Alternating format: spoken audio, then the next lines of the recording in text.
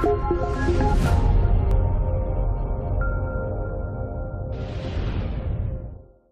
everyone, Bobby here for Xbox Gamer Reviews and today we're going to take a look at Raid World War 2. It was brought to you by Starbreeze, those are the same guys who brought you Payday. Um, what we're going to do today is just jump straight in and play the tutorial. I was going to do a mission but they can be a little bit long-winded. Um, so rather than now drag on, we'll jump straight into the tutorial, let you have a look around and go from there.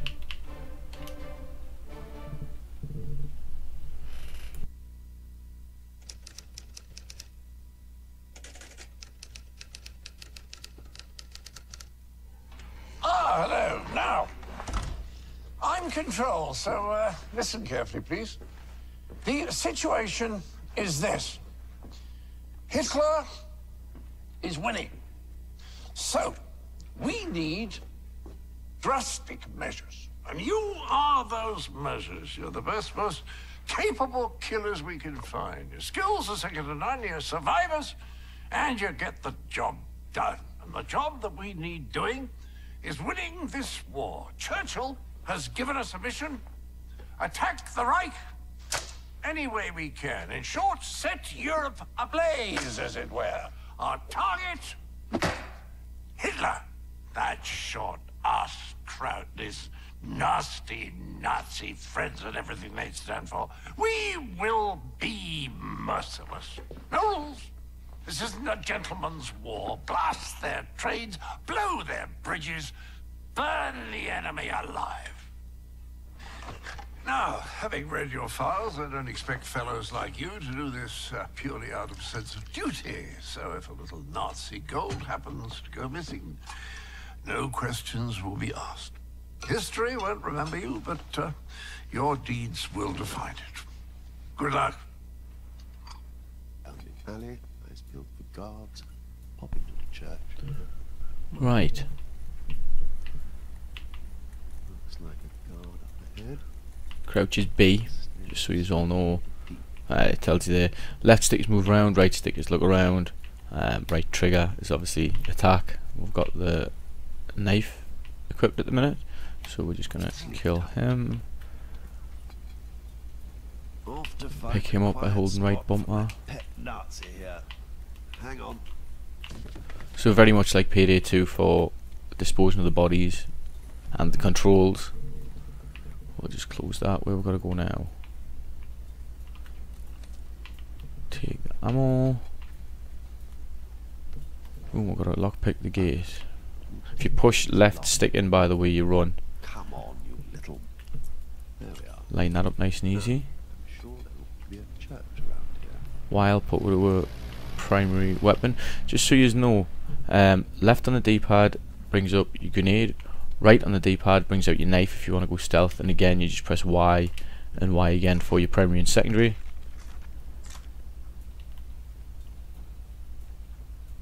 How do you suppose a chap gets in? Got to lockpick another gate. Gently. Christ oh, on a unicycle. Missed that one. How's your father? Apples away! Do love it when things go with a bang. Left trigger makes you aim down the sight. Nice and simple. Use your war cry to kill the Nazis. That's an airdrop coming in. Go, go, go! Get a move on! Warcry highlights some you. Notice he's getting back up though. I thought putting enough bullets in him would have downed him, but obviously not. Oh, and he's not dead.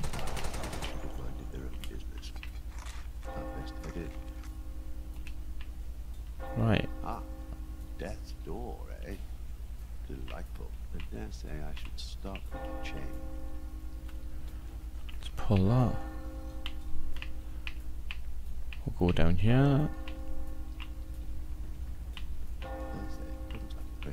Supplies.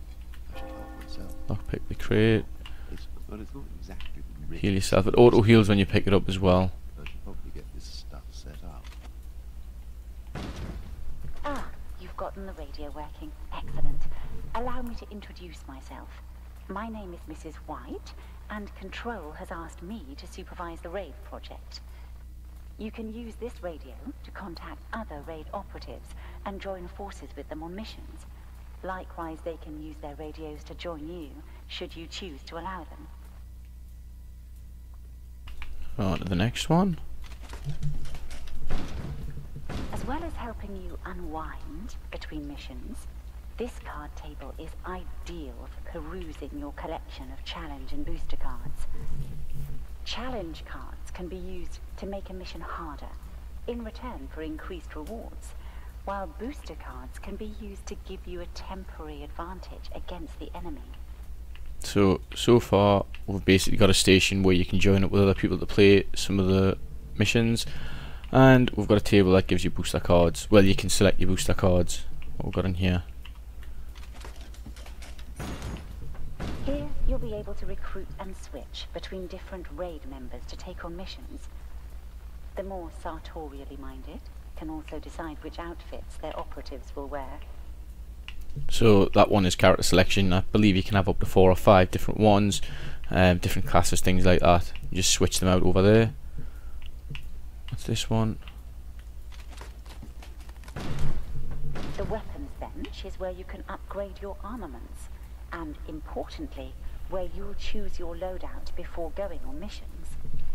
So as you um, as your level increases, you can see in the bottom left, I'm only level 3 because I've just started.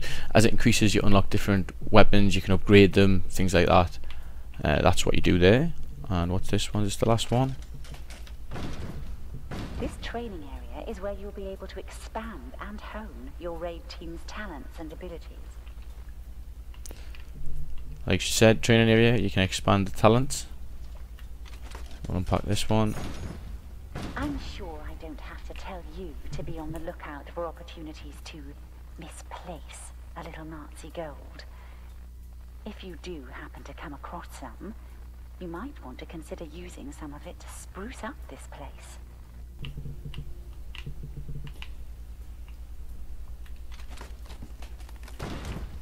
The maps table is where you'll find briefings and intel for every mission I make available to you, and is where you choose which mission to execute next.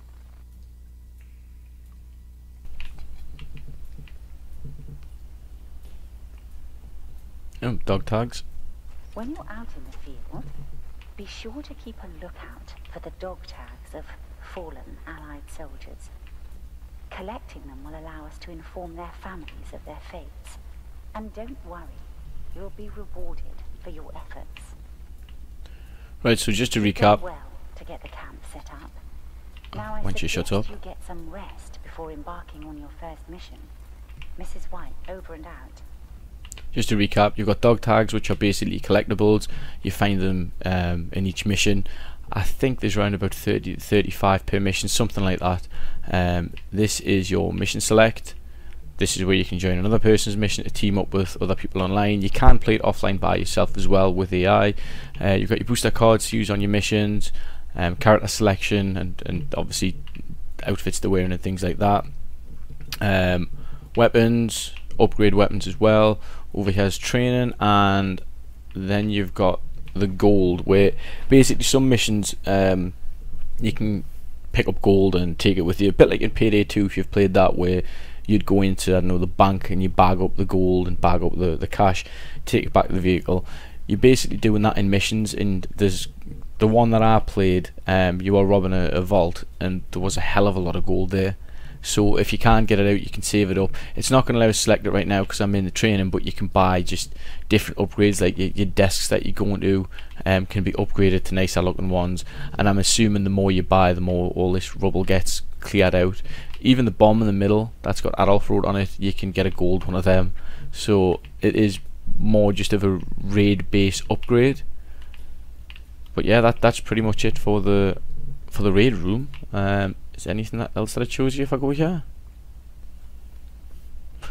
Yeah, then that'll just straight back in. This is where you can select your missions and whatnot. Uh, exactly the same as where we just were, but for some reason you have to finish the training mission. So just to show you, you can select weapons. So my primary, I can have a Sten Mark II or an M1 carbine. I've just literally unlocked that before I made the video.